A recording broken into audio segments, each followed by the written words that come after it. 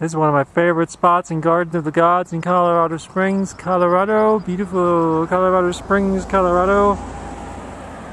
Uh, you can see the mountains and the rock formations and the valley beyond.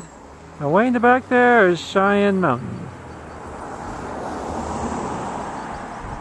So this is what it looks like on the ground here in Colorado Springs, Colorado. Garden of the Gods. On an overcast day, very unusual for Colorado Springs to get this much overcast.